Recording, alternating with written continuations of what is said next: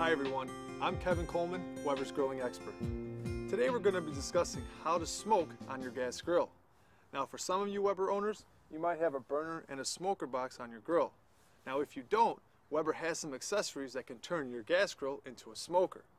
We have a smoker box that you can purchase. We also have disposable smoker trays. And later on in this video, we're going to show you how to make your own. Now before we get started, the first thing that we need to do is soak our wood chips for at least 30 minutes. You want them to smolder inside your smoker box. If you throw them in dry, they're going to flash and you're not going to get a lot of smoke flavor out of them. Check the recipe for the amount you'll need. Now let's start our gas grill and make sure you follow all safety and lighting instructions. To light a gas grill, first open the lid so the unlit gas fumes don't collect in the cook box. Now slowly open the valve on your propane tank or natural gas line all the way and wait a minute for the gas to travel through the gas line. Turn all the burners on high, including the smoker burner.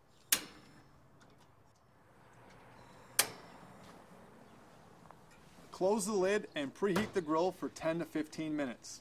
When the temperature reaches 500 degrees Fahrenheit, use a long-handled grill brush to clean the cooking grates. In most cases, you will be smoking with indirect, usually low heat. Turn off the burners in the middle and turn down the outside burners to the suggested temperature in the recipe.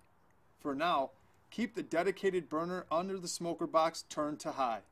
Now we're going to open the smoker box. Just make sure you use your long handled tongs and a grill mitt.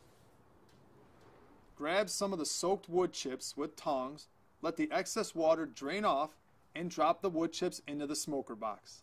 Spread out the wood chips so they cover the bottom of the box, directly exposing as many chips as possible to the burner below. Continue to add as many wood chips as the recipe suggests. Close the lid of the smoker box. Close the lid of the grill and wait a few minutes for smoke to pour out of the grill.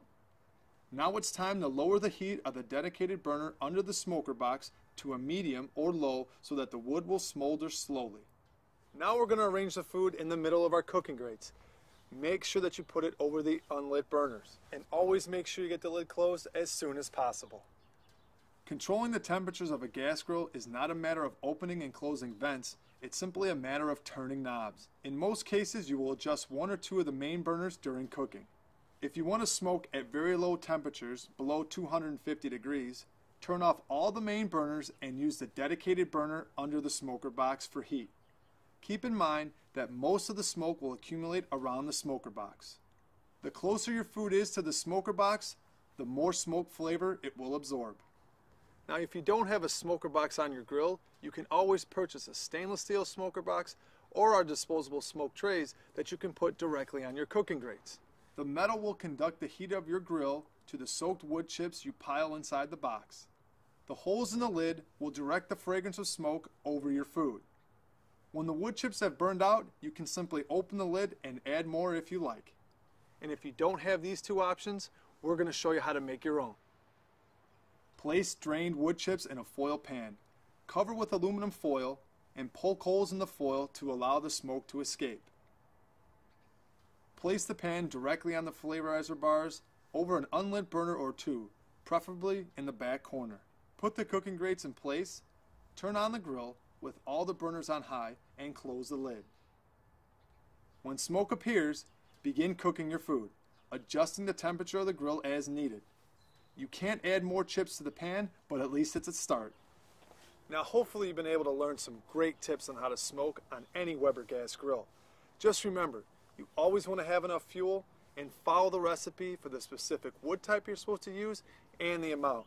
And if you have any other questions, Call our customer service at 1 800 446 1071, refer to your owner's manual, or find us here on Weber.com. And always, happy grilling.